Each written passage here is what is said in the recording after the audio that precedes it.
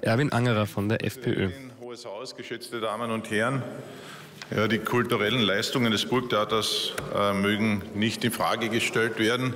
Aber wir reden ja über die Geschäftsgebarung in diesem Haus und es ist die Frage gestellt worden, äh, wer ist für diesen Schaden und für diese Malversationen verantwortlich? Und ich sage es ganz einfach, die Antwort ist ganz einfach, Sie, Herr Mayer, nicht in Person, aber Sie als sozialdemokratische Partei tragen die Verantwortung für diesen Schaden und für diese Malversationen. Und Sie haben heute schon einige Dinge vorgelesen aus diesem Bericht und dass nicht nur dort in Millionenhöhe Zahlungen geleistet wurden, ohne einen Beleg dafür zu haben, dass dort Geld aus der Kassa, wie es so schön beschrieben wurde, ist, die Vermögenssphäre des Burgtheaters verlassen hat. Äh, das heißt, das hat sich jemand offensichtlich angeeignet, ohne das zu dürfen und hat dann halt keinen Beleg hineingelegt, äh, wie er das herausgenommen hat. Das sind ja nur äh, Fortsetzungen von offensichtlichen Dingen, die dort üblich waren. Und wenn man schaut, wer bis 2008 dort auch mit Geschäftsführer war, nämlich der heutige Kulturminister, der Herr Trotzda, und wenn ich dann im Bericht lese, und jetzt lese ich Ihnen zwei Schmankerl vor, der frühere kaufmännische Geschäftsführer zahlte sich selbst unter Missachtung des Vier-Augen-Prinzips im August 2008 zusätzlich 9.400 Euro für nicht konsumierte Freizeit aus. Also für nicht konsumierte Freizeit hätte ich auch ganz gerne einmal 9.400 Euro.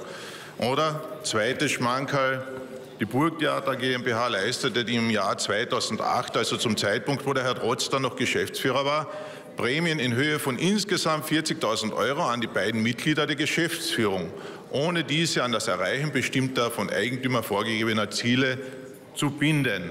Also offensichtlich, offensichtlich war es ja wohl gang und gäbe dort schon, dass man dieses Burgtheater als Selbstbedienungsladen sieht.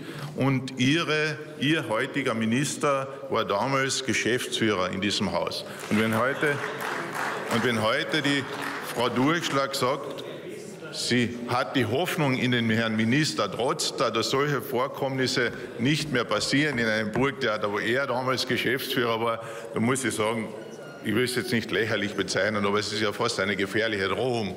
Und wenn ich den Herrn Trotzter im, und im Ausschuss, im Rechnungsausschuss frage, ob er vielleicht den Zeitraum auch zu seiner Zeit vom Rechnungshof prüfen lässt, damit man auch vielleicht unberechtigte Vorwürfe jetzt von mir auch aus der Welt schaffen kann, war die Antwort auf meine zweite Nachfrage, nein, er wird das nicht prüfen lassen. Weiß ich nicht. Weiß ich nicht. Und wer waren die zuständigen Minister? Und wer waren die zuständigen Minister? Die Frau Claudia Schmidt. Die Frau Claudia Schmidt von 2007 bis 2013. Die Frau Claudia Schmidt kennen wir ja auch noch aus der Kommunalkredit. Dort war sie Vorstand. Äh, und in ihrer Zeit hat der Kommunalkredit, den nehmen wir auch aus dem Rechnungshofbericht, durch die Verstaatlichung einen Schaden verursacht von 12 Milliarden Euro.